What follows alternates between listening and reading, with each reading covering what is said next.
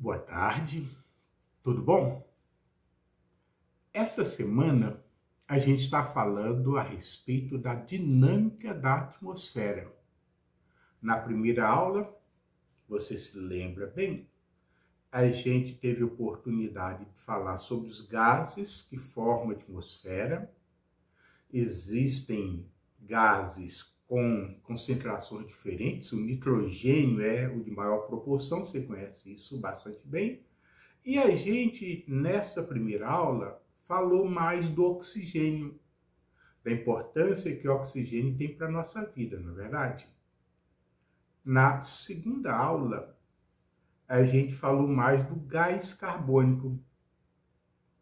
O gás carbônico desempenha um papel muito importante na atmosfera para os seres vivos, especialmente para os seres vivos vegetais em um primeiro momento, porque o gás carbônico vai ser usado pelos vegetais no processo de fotossíntese que permite a produção de alimentos pelos vegetais. Então, os vegetais utilizam o gás carbônico como matéria-prima para a construção de seus alimentos.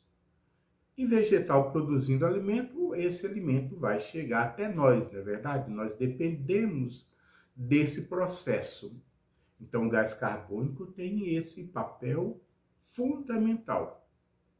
Na aula de hoje, a gente vai continuar falando a respeito dos gases e você vai perceber que o nosso olhar vai estar voltado para o gás carbônico por conta da importância que ele tem num processo que nós chamamos de efeito estufa. E este efeito estufa, sobre o qual a gente vai comentar, ele é importante para a manutenção da temperatura do planeta em condições adequadas para a vida como a vida se instalou no planeta. Quando os astrônomos, estudando é, o espaço exterior, o universo, buscam planetas, um dos estudos que eles fazem é o planeta que nós estamos detectando ele está muito afastado ou muito próximo da estrela, porque os planetas orbitam em torno de estrela. A nossa estrela é o Sol, mas bilhões e bilhões de, de estrelas existem no universo. E aí, quando se buscam planetas em torno destas estrelas, procura-se planetas que estejam numa distância compatível com o que nós entendemos aqui como adequado à vida, à presença de água, água no estado líquido. Então, a temperatura é muito importante nisso. O conteúdo que a gente vai abordar está nosso amigo livro do sétimo ano, especialmente a partir da página 45.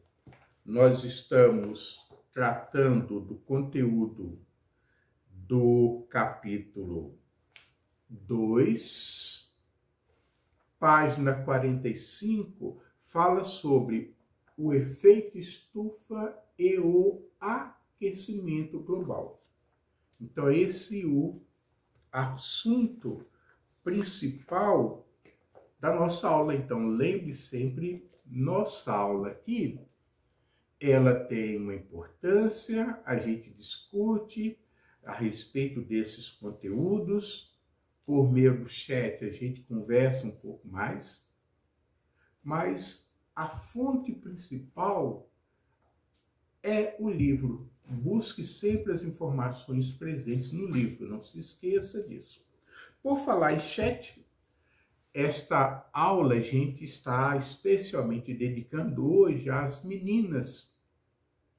Nós temos meninos e meninas participando muito ativamente, de uma maneira muito inteligente, do nosso chat durante as nossas aulas. A gente agradece a participação de vocês. Por isso que eu quero fazer hoje menção a Maria Laura, a Emily, a Manuela, a Rebeca, Maria Rita, Esther, Gabriela, Letícia, são meninas que estão sempre aí, que aparecem em nossas aulas, que apresentam questões e contribuições muito inteligentes, como os meninos, mas os meninos, ah, eu vou falar na próxima aula um pouco a respeito deles, agradecer, citar o nome de vários que participam. Então a gente quer agradecer a todos vocês. Quando nós falamos da dinâmica da atmosfera, a gente está falando a respeito das mudanças que nela acontecem. As mudanças que a gente quer aqui referir são as mudanças que aconteceram na composição da atmosfera, na proporção de gases ao longo da história do planeta. E esta história, segundo os geólogos, tem aproximadamente 4,6 bilhões de anos.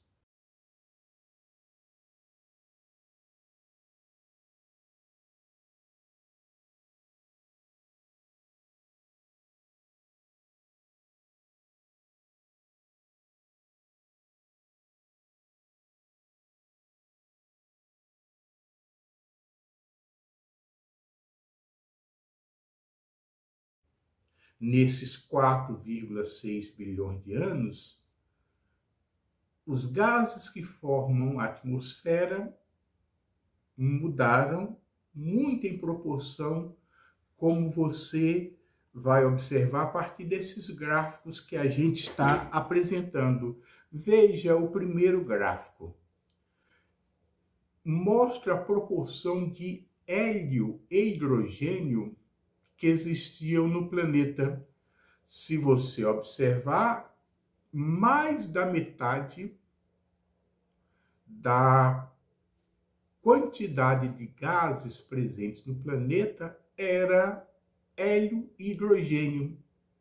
Só que no primeiro bilhão de anos, esse hélio e esse hidrogênio praticamente desapareceu, como você pode observar no gráfico mostrando essa mudança.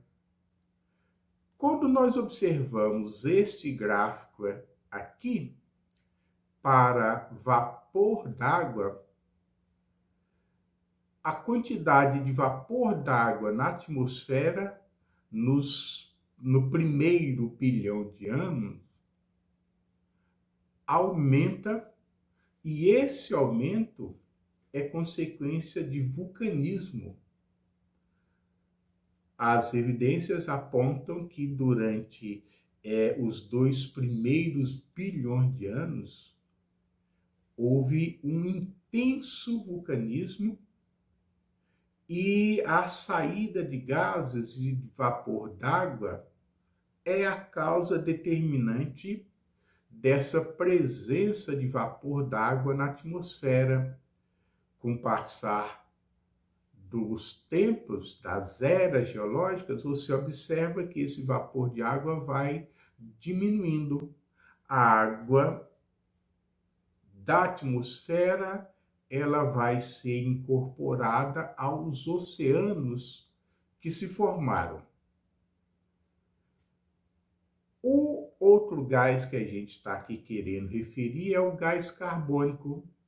Vejam vocês que no início praticamente não tinha gás carbônico na atmosfera e há um uma grande presença desse gás carbônico nos dois primeiros bilhões de anos.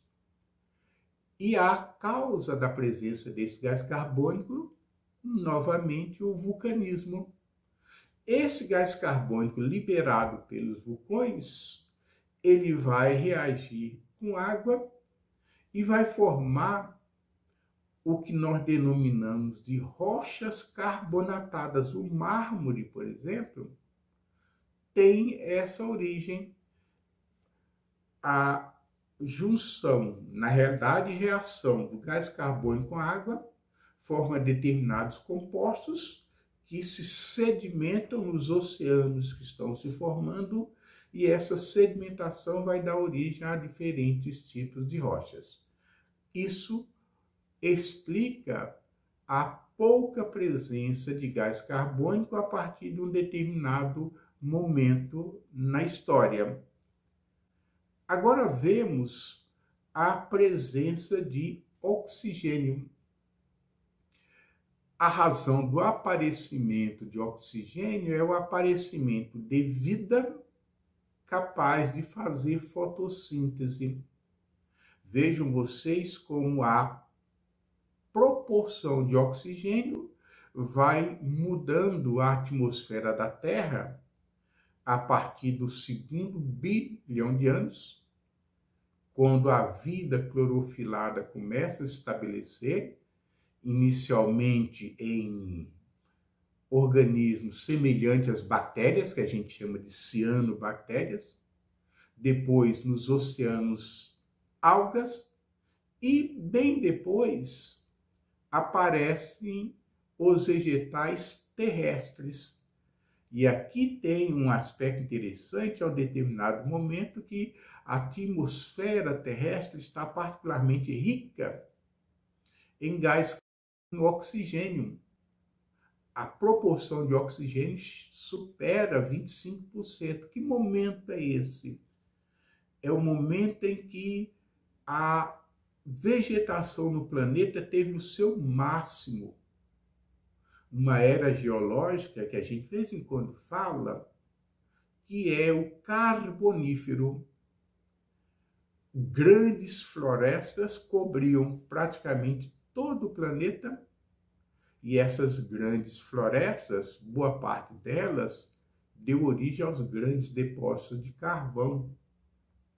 Inclusive, é, esses depósitos de carvão contribuíram para a diminuição também da quantidade de CO2. Mas aqui a gente está enfatizando principalmente esse momento no planeta que ele foi um foi bem mais oxigenado. Essa dinâmica ela é afetada ao longo de bilhões de anos, um processo, como vocês podem perceber, lento. Mas no caso particular do gás carbônico, esse processo de aumento de gás carbônico tem se intensificado nos últimos 150, 200 anos. E a gente vai comentar um pouquinho a respeito dele ao falar do efeito estufa.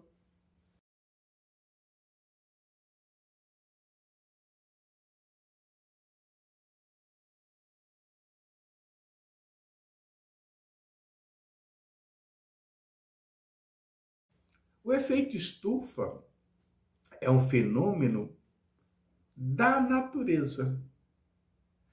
E o efeito estufa é essencial para a existência da vida, porque, como nós falamos, o efeito estufa é quem dá a grande contribuição para a temperatura na Terra se adequar à vida.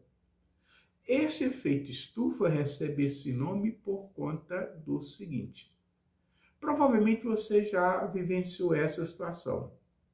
O carro do seu pai, o carro da sua mãe, ficou estacionado durante muito tempo exposto ao sol.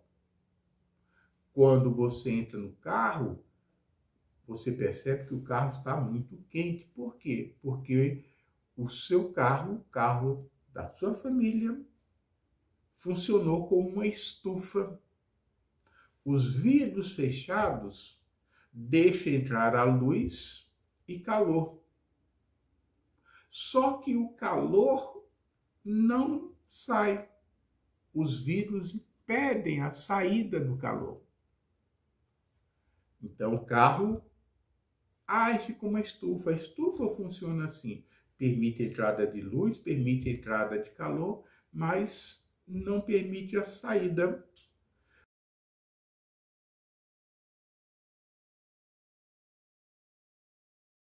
Veja esse esquema mostrando como o efeito estufa acontece, como a luz do Sol atravessa a atmosfera.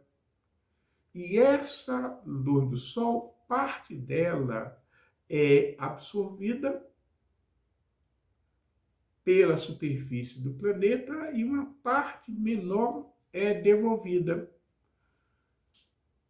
Esse é, essa luz que é devolvida, ela não contribui para a temperatura do planeta, mas parte dessa luz, especialmente um componente que nós chamamos de radiação ultravioleta, ela fica no planeta retida pelas camadas da atmosfera.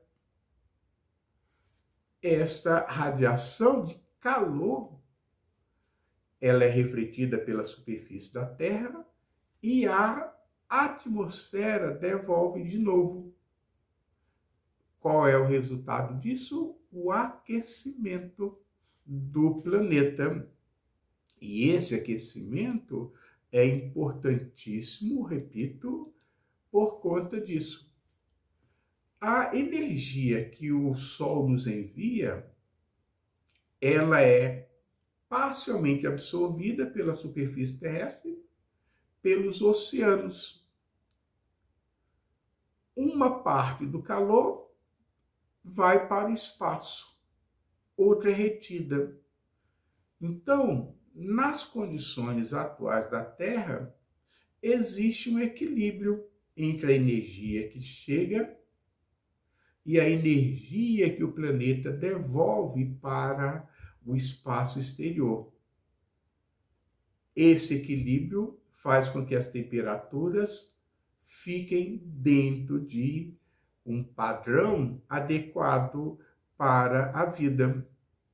Só que essa retenção de calor ela tem se intensificado por conta da maior presença de gás carbônico na atmosfera. Qual é a causa? A causa dessa maior quantidade de calor é a atividade humana. Essa atividade humana, ela principalmente aumentou a partir da revolução industrial.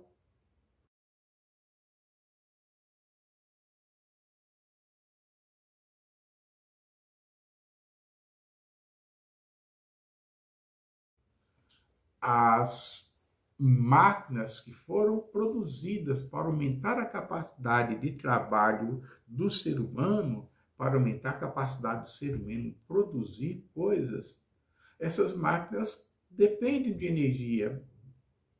E a fonte de energia é o combustível que, ao ser queimado, você lembra da aula passada, esse combustível ser queimado produz CO2,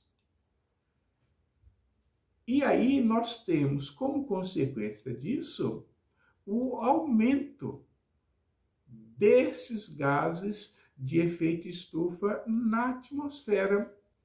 Então, as atividades humanas relacionadas à indústria, mas também atividades agrícolas, desmatamento, é, a utilização de combustível para realizar transporte de pessoas ou de coisas que as pessoas dependem, são processos nos quais nós temos uma produção de gás carbônico resultante da combustão e isso vai fazer com que nós tenhamos a cada ano uma elevação na proporção de CO2 na atmosfera.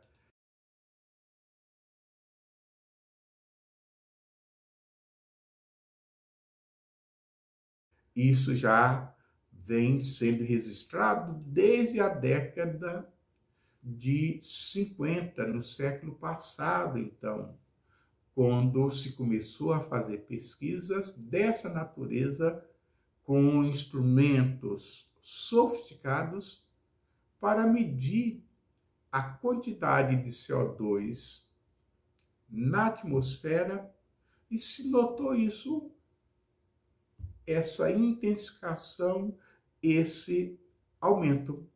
Mas não é apenas o CO2 que contribui para o efeito estufa. Além dele, tem outros gases, como metano. Né? O metano é um gás produzido como consequência da decomposição. E quem produz são as bactérias.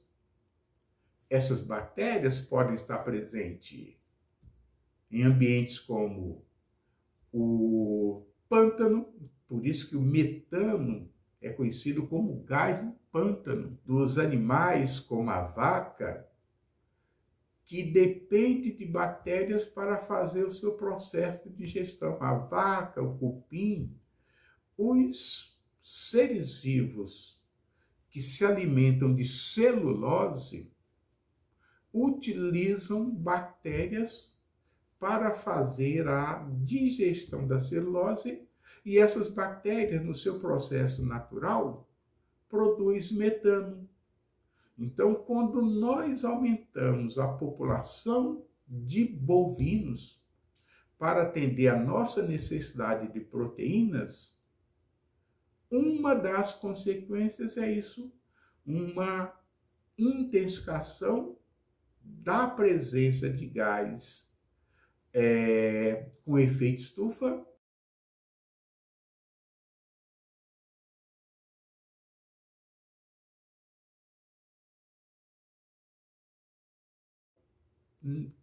No caso, metano, a partir da atividade da pecuária. Além do metano, do dióxido de carbono, o gás carbônico, tem óxidos nitrosos, tem gases com flúor, chamados gases fluoretados, entre outros, mais sem sombra de dúvida, metano e gás carbônico são os principais. Os países industrializados, as maiores potências econômicas, são os países que têm uma contribuição maior para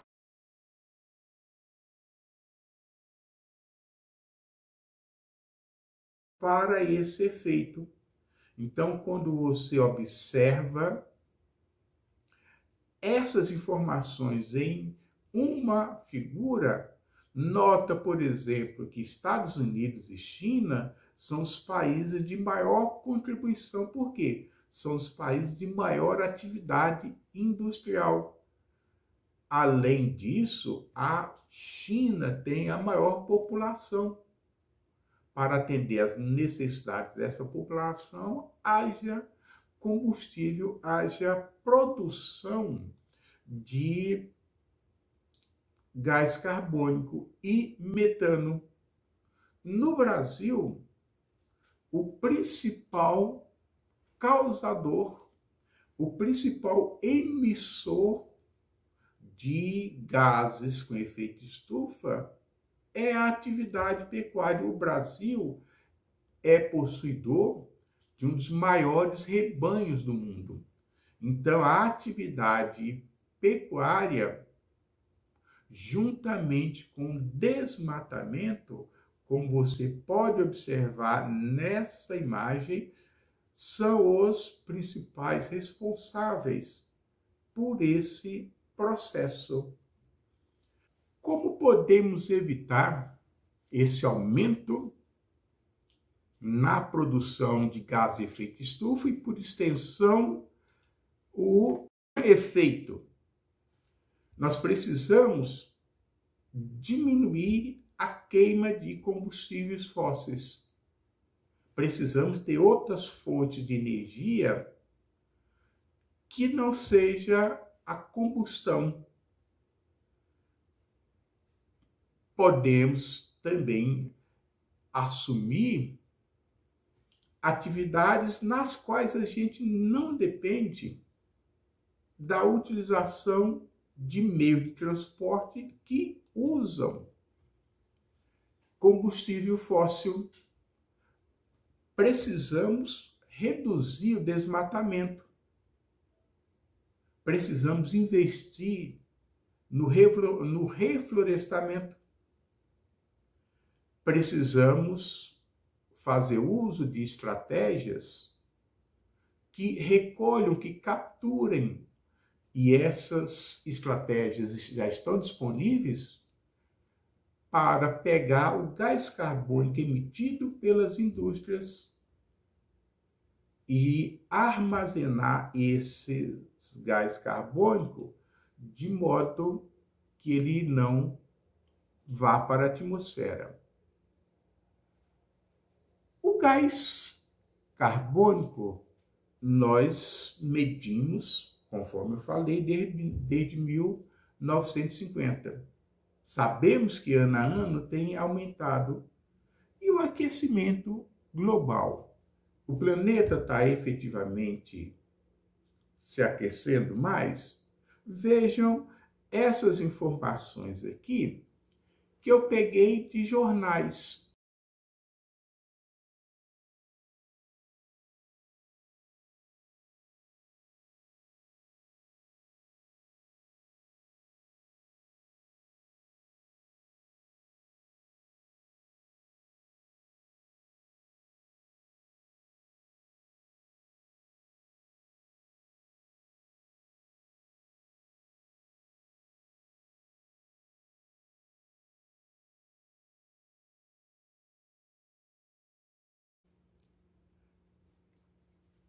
Em 2016 apareceu essa informação, 2017 essa, é, agora em 2021 nós tivemos isso. Ano a ano, quando chega janeiro, fevereiro, os pesquisadores divulgam os dados sobre as temperaturas do ano anterior e a gente nota isso. Cada vez mais nós temos esses dados. Olha, o planeta, o ano passado, teve as maiores temperaturas. Vocês que estão aí me acompanhando, nós estamos em março. Quando chegarmos em janeiro, fevereiro de 2022, muito provavelmente a gente vai ter informações desse tipo. Então, esse aquecimento traz consequências. Quais são as consequências?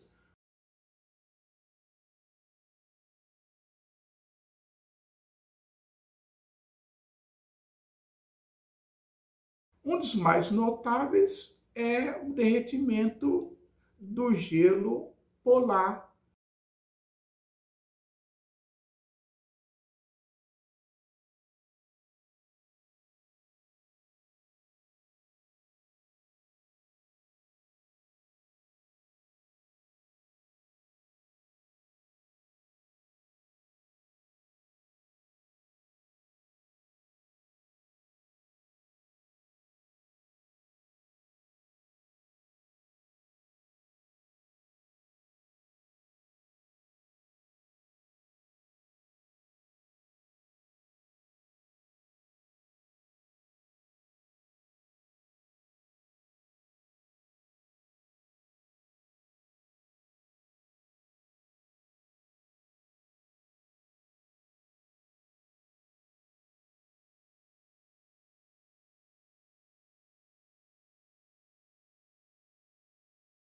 o derretimento dos gelos nas altas montanhas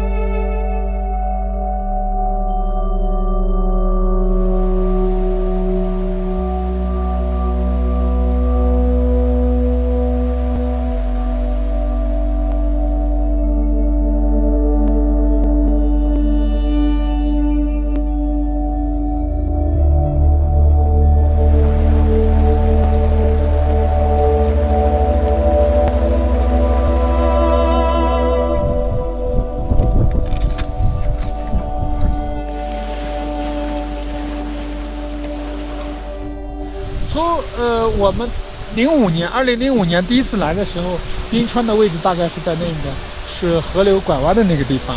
到现在为止，呃，将近十五年，我呃十五年时间，整个冰川退缩了将近一百五十多米。这个冰川退缩的速率给我的震撼是还是很很大的。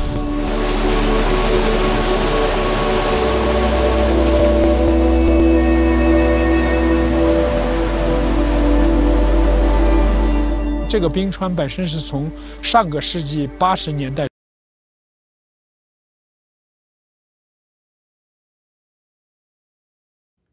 E nós temos mudanças na oferta de água, nós temos aumento nos períodos de seca em certas regiões, e essas consequências elas têm se agravado por isso é fundamental que a gente tenha, por meio do conhecimento, por meio da ciência, noções de como e por que acontece, e tenha o conhecimento para mudar esta situação.